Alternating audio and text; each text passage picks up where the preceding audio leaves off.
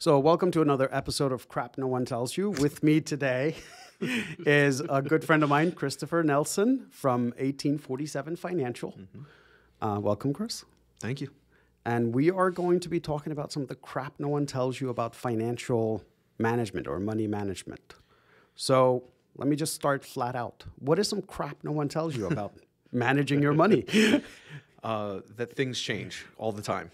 That there are so many tools out there that you can be using, and that there are tools that change. And depending on what happens in the economy, depending on what happens in the world, your financial plan can go 180 degrees. And what I see, I just see people doing the same thing over and over again that used to be important from, you know, they may have learned it from their parents. They may 20 have learned years it ago, from- 30 Yeah, years ago. correct, Right. Correct. And those tools have changed. Um, you know, good examples of this, you know, a year, two years ago, there was a lot of leverage from home equity lines of credit. well, money was cheap. Yes, exactly. Like- yeah, so you would you would leverage money. You would Mm-hmm. use dollars for different things. But now you're trying to find new ways to get at them.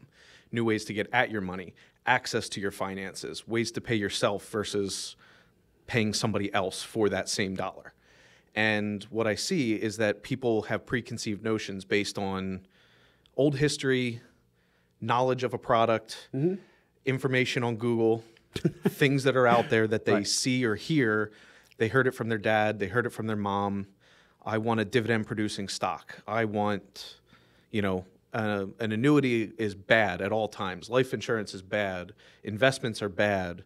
Money markets are bad. But it's it's I mean realistically, if we would sit 100 people down today mm-hmm. and start asking them basic financial questions, how aware do you think people in general are that money can be because you and I can sit and have a conversation about, you know, oh, here's how you leverage your money, mm-hmm. right? Most people don't even understand what leveraging your money is. And that's a very valid point that it has to start sooner. Um, just simple finance, uh, how to pay down debt, uh, how to be efficient. There is such things as having good debt. Um, I, I have seen for years clients pay off mortgages, pay off mortgages early, pay money down on mortgages. These are 2%, 3% mortgages. Today, you can get a 5% CD Right. and somebody paid down a mortgage at 10 years at 2.5% for their just to get rid of their mortgage now but two and a half percent interest is really nothing. You could be Correct, that money. So let me simplify for those that don't understand what you're really saying. So rather than paying off a loan that carries a 2.5 percent interest, you could take that same money, leverage it, putting into an investment that makes you more than what the two and a half percent is costing you. correct it's just being efficient there is also a part of this though that can't go un, undiscussed or or that we should definitely go over which is you have to be able to sleep at night that's you know the financial book may say one thing Right. but that doesn't necessarily mean that that's always going to be in the client's best interest per Correct. se. So when I bring this up, I'm talking from a financial viewpoint. I'm not saying that paying off a mortgage isn't the appropriate action if somebody wants to Correct. If it get makes rid you, of that. if it makes you sleep better at night, then Correct. absolutely Yes. prioritize it. Right. And and for instance, there are so many times I've worked with clients where we've been very efficient with how they're doing their debt or or paying down their debt or maybe eliminating their debt only to reaccumulate debt, which is not an appropriate action for somebody as well. I don't want to take a credit card, pay it off with a line of credit or a Mm-hmm. refinance of any capacity just to have them put $20,000 back on the credit, Credit card. card, right. They're just going to be in the same boat down Well, the line.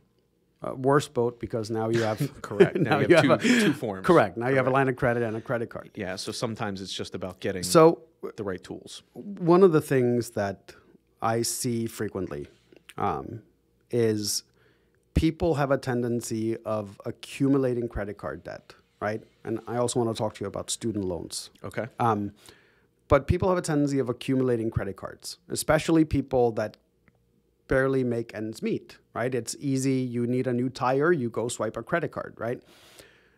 Most people then don't have a plan for how to get rid of that credit card debt because mm-hmm. credit cards, borrowing money from the credit card company is not cheap, right? Like it's if you're in that situation, you probably have what, a 22, 24% interest rate, mm-hmm. which means that money is costing you an extra 25% every year that it sits on your card, mm-hmm. right? So for simple math, if you put $400 on your credit card in a year, that would be 500, mm-hmm. right? What what is the best course of action or how would someone go about f- even figuring out how to start paying off credit card debt? look for efficient methods of utilizing the same dollars, but doing it in a more efficient way. For instance, that is where the leverage of a home equity line of credit, maybe a loan on your 401k if you have the assets inside of a retirement vehicle like a 401k, where you could borrow that and be paying yourself the interest or at a lower interest. Um, part of being good, sound financial planning is you still have to live within your means. There's still only so many things you can do. Um, and a lot of, I see some clients will utilize debit instead of credit to limit that. That's a tough one when it comes to debit because then you're putting yourself in a position where you have to have those funds and maybe there are some needs or necessities. So, coming up and creating the personal budget that you need, the personal plan that you need, coming up with better ways to do it or ways to leverage your assets. A lot of times, just having the doors open to you and not utilizing them is beneficial. Okay. So it's not I mean it's not a one size fits all. It's Correct. but you know, it's it's understanding that not all debt is bad either, right? Correct. So it's you have to understand when when is it appropriate to use your debt or your credit mm-hmm. in order to help either dig yourself out of a hole or to get ahead, right? Correct. So I would say one of the things I always bring up and talk to clients about is that there's always an ability to get a loan. Someone will always give you money to borrow for everything in life other than retirement. They'll let you start a business. Right. They will bu- let you buy a car. Mm-hmm. They will let you buy a house, but they won't lend you money to retire. So getting multiple uses out of every dollar that you're saving is important.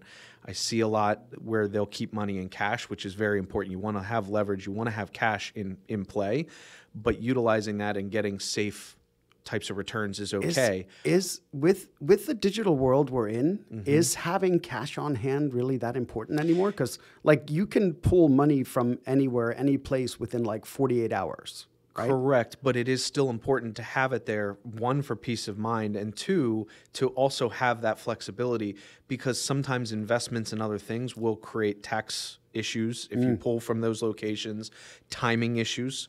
For instance, you don't want to have an investment account where you don't have any control that today the market was down 3%, tomorrow it's back up, but you needed that money today. Right. So you want to have those CDs. CDs are great. They they allow you to get a higher interest rate on those those cash dollars, but if you pull from them too early, then they just eliminate. So you might as well have had it in cash anyway. So those are the the problem is timing, and that's where the cash comes into into play. Okay. So really it's it's understanding how all of these different things work. Like what's the upside, what's the downside? Always know both. Always uh, know both. Upside and downside. yes. Because I mean almost every investment out there has both, right? Like there's no investment that's just an upside. Correct. And there's none that are just a downside. Right. There's always going to be a purpose for that tool in your overall plan.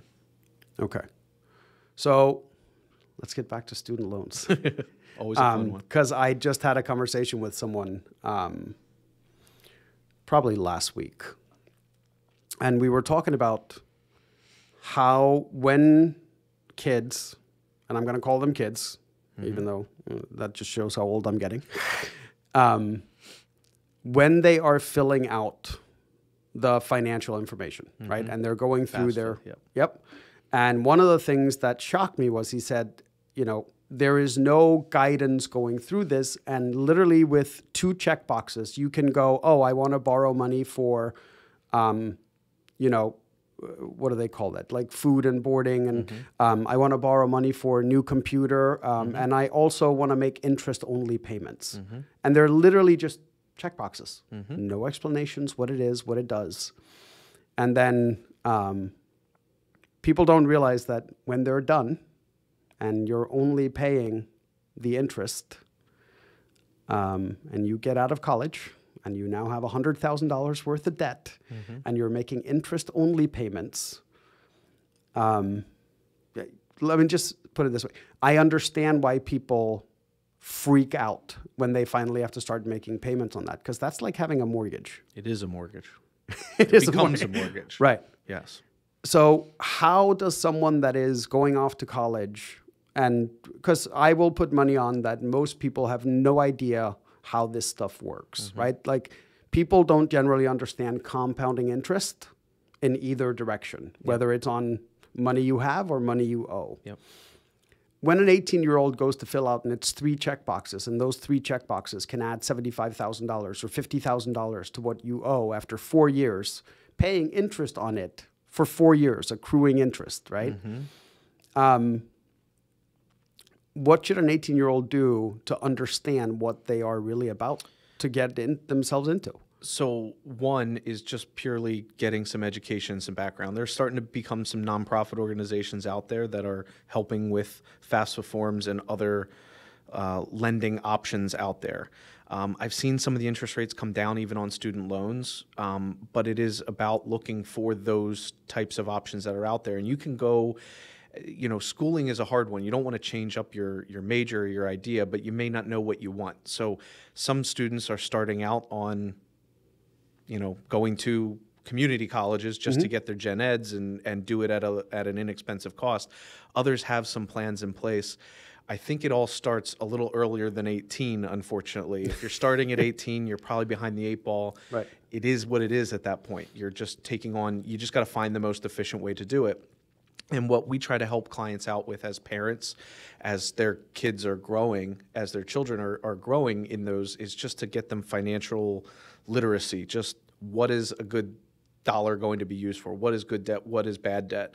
And then helping guide with there's always another location. And again, it comes back to shop around. Do does a student uh, is is a student offered credit card or something along those lines cheaper or more expensive than getting a student loan from say a bank or from uh, from any of the governmental organizations that are out there we try to help clients save for multiple uses so for instance Roth IRAs, putting in and putting into, say, a Roth for a parent or for a child that might be working, that can be used for education.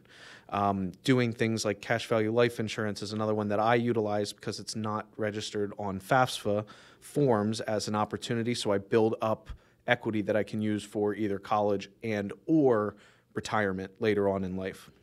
You can save to 529 plans. They have one use and one use only. That's the college one. That's right? the college plans. Yep. They have one use and one use only. And part of the problem with 529 plans is it's very limited on the amount of time you're investing in getting that growth, and it has to be used for college. You can pass them on to others.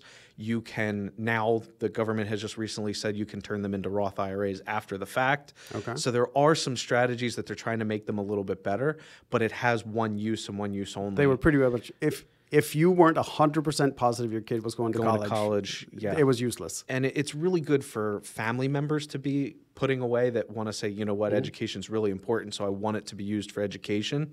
That's fine. It's great for that. On the parent front, you can do other things where, what if cash flow is there for the parents or takes care of something? Right. My dad did something special for me. So so what you're saying is, sorry to interrupt you, but like, so these kids that are signing off on their life to go to college Yep. at 17, 18 because they don't understand it is what we're really saying is we as parents need to understand this way before that point in time so that we can explain this to the kids. Yes, it has to be part of it. I wish it was in schools. I wish it was in high Yeah. schools. I think simple understanding of finance. Here's is- algebra. No, no, no. Here's how to balance a checkbook. Yes, and and here's where you put your money, or here's how a retirement plan works. You know, pensions are gone; it, it just doesn't exist. We've changed life around. Now they mm-hmm. need to know how to save, and that's not something we're we're teaching now. There's also a lot of money floating around in the older generations that's going to be passed on, but probably not in a college timeline. And you're just trying to find the efficient way to pay that debt, and it may be getting student loans. So are student loans overall good? They can be used properly, yes. They're not bad. Okay. It's It relatively it's It- relatively cheap money, right? Correct. It's still relatively cheap. It was actually more than those other tools until recently. So again, that's why I say tools change and investments change because 3 years ago, no, a student loan was actually more than a home equity line of credit or lo- or loan. So it's it's always one of those tricky questions, right? Is at what point do you need to talk to a financial advisor, mm-hmm. right? And at what point does a financial advisor actually want to talk to you? Because I have a feeling a lot of people that need financial advisors the most are the ones that have the least to work with. I would agree with you there, and that's part of the the the issue. The way the compensation and things work in our profession in our field is that it's all about assets under management. It's all about what are you doing and where are you saving. I think that needs to change, and it has changed. Some advisors charge fees to just talk with you, but I think it So becomes more of like an education, more of an type- educational Okay. facility, but they might charge a consultation fee or or a annual fee to work with them. My doctor doesn't see me for free. Yeah, and that's where it kind of comes from, and that's where it all generates. Um, but there's still a- disconnect there in the industry, so I think it has to come back on the the parents of the children to start to have these conversations and know they may or may not be looking at retirement yet, but maybe they are worried about college planning. I sat down with a client last night, four girls, one 17. That's their biggest topic. That's what they want to know and, and do. They have some assets, they have some things they're putting away. But again, we're just working through some different strategies on where is the best, most efficient way to do it. Cash flow, taking a loan, helping the child pay that loan might be the answer until they're in a working position. So you're deferring down the line, but you're you're still helping and you can still get that education. It comes quick. So and and another thing that I notice a lot, especially, you know, I mean, you and I probably talk money more than most, right? Like, well, you do it for a living, and I just understand more than I ever wanted to. Um, but what I'm starting to realize is that there's good advice, and then there's good advice for you, right? And those two are not necessarily the same thing, right? Because, um, like, back to the I was looking at someone I know was um, accumulating credit card debt. And I told them flat out um, go get a 0% balance transfer credit card. While before this kills your credit score, Yep. get a 0% APR for eight months or 12 months, however long you can get it, and then consolidate all your credit cards onto that because you will no longer be paying interest on that. Yes, you're paying the 3% transfer fee, but the 3% transfer fee Small in comparison. Uh, ex- right, compared to 19% interest, whatever it is mm-hmm. every year. And there was no way they were paying this off in months, right? So mm-hmm. we, we knew we were looking at a number that would be sitting there for at least a year, mm-hmm. right? So having to explain to someone, yes, you have $10,000 worth of credit card debt. No, you're not paying it off immediately. In 12 months, that's going to be, you know, $12,000, dollars right? And same thing with um, the student loans, right? I was talking to someone, call it seven years ago, owed $28,000 in student loans. Um, had something come up, lost their job, couldn't make payments on their student loans, didn't call them to get anything frozen. I just ran into this person last year um, because of losing track of that and it going into collections. His student loan debt is now sixty-three thousand.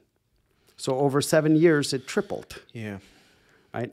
Yeah. Is are there things or are there tools in place to help people that are in those types of situations, or are you just unilaterally screwed? yeah, and that's a very difficult conversation and a very difficult question to answer because the truth is is that there has to be some onus on the individual themselves. Correct. Um, you know, eh, we we can't you know turn water into wine. It's just you know it's got to be part of what you're doing. You have to be and that's why I talk about efficiencies. You have to find the tools that you can then keep putting the same amount of month monthly money down that you can manage and you have to get tight in other areas. Inflation hurts that, other things make that very difficult, but we have to make it a priority or you'll constantly be in that that cycle and no financial advisor is actually going to be able to assist they're going to be able to give you guide they're going to be able to give you tools but it's got to be your ownness that takes over there. And that's why I say starting a little bit earlier, that's why we have to probably be making some changes in our schooling and Right. the way we educate our, our students. But the parents have to take the onus too to educate themselves on what they can be doing. And there are other avenues. Some parents say, I had to pay my student debt, my student has to do theirs, they have to learn from that. Um, and that's where it comes from. And others will choose that they want to own that, and that's okay too. The the thing is, is that as an advisor, we're here to help and we are here to guide, but there is something that has to fall onto each person. Um, I can't do my job without all of a personal personal information from a client if they're not really ready to get it together. They don't- can't. they I- don't tell you they're not- everything. yeah, Right. it- it's being pushed to the back burner, and that's where it's going to remain. And they will be probably in a in a downward spiral from time to time. But if they own it if they try to make it a priority the clients i met with yesterday they've been clients for 14 years. That's how long i've worked with them. Okay. um, they were working on credit card debt for almost 10 of that. Now they're out. Now they're in a better position. They've saved. Now there are things we can be doing. So even 14 years ago i helped them with those those things with that guidance but today they're now able to utilize those tools Do do you think people so this is kind of like off the wall question. Mm-hmm. Um, you know when people do weight loss, right? Someone goes on a diet and they think they're going to lose 30 pounds in a month, Yep. right? Whatever it is. Eh, People are always unrealistic. And you sit down and you look at them and go, listen, it took you 30 years to get to this point. So what if it takes five years to get back? yep Is that kind of the same mindset people have to adapt when they get in over their head slow into and debt? steady yes is that certainly the getting out is not a one year plan it's a five year plan and yes it's going to cost you a ton because you don't have access to other capital but you have to treat it like a long term if you've if you have forty thousand dollars in debt and you've never saved more than ten thousand dollars a year, how are you going to get out within one year? Right. It has to just be you just have to chip away at it and do things that are appropriate. I cannot harp enough on the utilizing multiple strategies, getting multiple uses out of a single dollar. Put it where it can be used to pay off your debt at a later time. To that mortgage conversation, even if you put that money away into your So, and- bank account, you can write them the check to the Right. mortgage company. but you have to make sure that whatever money you are utilizing or where you're putting it is still generating more than what you're losing on the other side Correct. Don't put it in your like- checking account and and not pay off your mortgage that's three and a half percent because Right. it's low and you just want to hold on to cash. and same thing don't don't start by paying off your low interest debt start with your high High interest, interest debt debt. I'm I'm more surprised how many times I see credit card debt and cash in in a checking account. I see it all the time. people with thirty thousand, forty thousand dollars of, of Rolling credit cards? of debt, Right. Or, or rolling credit cards, and forty, fifty thousand dollars sitting in their savings account. Yep, I see it. okay I do see Yeah, it. sorry I, I don't even know Um, where to or or they have credit card debt. Here's a good one that I do see a lot too. They have credit card debt or high interest debt, Mm-hmm. and they keep trying to max out their 401k. You know, sometimes not getting the company match might still be more beneficial than and paying down debt than putting into the 401k. It's all person by person specific. And that's one of the problems with Finance 101. We're teaching everybody as a whole pay down debt or do other things. Correct. But at the same time, really what we're saying is they have to learn from themselves. right So we have to, each person's situation is different. And one recommendation should not be used on multiple people. So, are there resources out there for people that aren't comfortable talking to a financial advisor yet that want to learn more? Like, what do you do? I mean, Seminars. Um, Okay. Usually, larger corporations will offer seminars. You could look in and see if there's seminars and training. A lot of financial advisors will do seminars to drum up and and create uh, relationships at times too. So it might behoove you to go online, check and see what's at your local networking event or Mm-hmm. other things where they might be putting on a seminar. I don't personally do too many of those or do them um, just personally, but I do know advisors that do offer them that do talk about specific topics. yeah. So, um, someone we know actually does this for the the mortgage industry, Yep. right? Like they they show first time home buyers how to become first time homebuyers. Yep.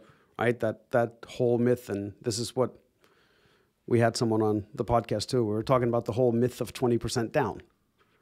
Right? And it's another one of those examples is people don't understand the financial tools that are available to leverage um, because they have changed since your grandparents bought their house, right? Like financial times have changed, inflation has changed, price of stuff has changed, right? Mortgage like, rates have changed. Correct. so, like utilizing advice from 20 years ago, hell, even utilizing advice from what, five years ago? Yeah. Because I remember you and I were on the golf course and we were having a conversation about a specific stock. And I remember it. Oh, you remember it? Yeah. right. And you were like, eh. and I'm like, I'm gonna buy more. Yeah, I'm getting in. I'm getting in. Mm-hmm. I'm all in, mm-hmm. right? And then that stock, what, like quadrupled over over the mm-hmm. following six months? No, that's it's back down. it's back down. I'm out. but it's it's one of those where like that's like hitting a gold mine. Like that doesn't happen in general. doesn't people, um, and I see this with people that do their own investing. Um, one of the things is like, yeah, I, I tried doing this investing thing and like I would buy something and then it would drop 10% and I would try to get out and buy something else. And I'm like, so you weren't really trying to invest. You were trying to trade. You were trying to time. Right. Yes. Which good luck. Yeah. Got to be right twice. yeah, right. Yep. Getting So- in and getting out. So unless you are doing that 100% for a living, Mm-hmm. um, I don't think, I, and I think part of the problem is we see this glorified all over social media, right? Like traders and, oh, I made $10,000 in a winning day. stories. Correct, right? Y- You don't see the fact that they may have lost a 100 grand this year on top of it. So the day they made 10,000, they share it. Mm-hmm. Yeah. They don't share it the day before when they lost 15. I still remember the three specific client stories that I have that actually did win and hit it. Right. I, I, I'll never forget that. Right, like- and even though even them want to mm-hmm. get out and diversify, but then tax becomes a question. Correct. Other issues come up when you try to get out, so they have to monitor and manage it, and that's difficult too. And it's, I think, part of managing your money is being able to see long term, right? My very first stock purchase, about, I don't know, eight years ago, whatever it was, was General Electric. How mm-hmm. could General Electric do anything wrong, right? Mm-hmm. We had a president that said, oh no, that was with GE. No, with General Motors. The country goes the way General Motors goes. Mm-hmm. But GE was one of those companies under, what was his name, Immelt, whatever. You just thought they would do forever good. So I bought a GE. And then the following year, they dropped, what, like 80%? A lot. Yes. Like it went from 30s to like single digits. And I'm like, this is stupid. I'm never buying stock again. Well, Ask about Kodak. uh, That's right? good Co- one, too. that's another one. Yeah. S and P 500 stock that is no more. no more, right? But I think part of it is we're not taught either that managing money is a long term thing, right? It's yes, you have to manage your monthly budget. Yes, you have to make sure that you can make ends meet. But really, it you have to take a long term approach. You have to manage you-. It's more important when managing money to manage your emotion than it is to manage the Yes. money, because that is the problem. We're dealing with it right now in the current economic climate. What's going on? Yeah. and where things are headed. And you know, it could get worse before it gets better, but it's still Mm-hmm. got to be. What are you? What are you actually measuring? Are you measuring long term or are you measuring short? Right. Are you measuring the next three months? Or are you measuring the next three years? And it's and it's also the once again back to compounding interest, right? Like I always thought that if you wanted to get into the stock market, if you wanted to do any of this stuff, you needed like thousands of dollars to get started. And I was under that misconception for years. Mm-hmm. W- My very first deposit into my stock account was $25 mm-hmm. right? And it was $25 two weeks later because I had it. And then it was $25 for probably the first six months. And I would have to do three deposits before I could buy a single stock. And I would buy one, mm-hmm. right? And then all of a sudden, that money slowly started working for me. Now, that stock happened to go up. I was able to sell that and I bought two of a different one, right? But it was just that that thing where like oh I need to put thousands of dollars in to get started. No, no, start start with whatever you have. Well, and that's why I say emotion's so important because managing assets too is is a triple edged sword because it's actually one you're managing yourself and your own risk.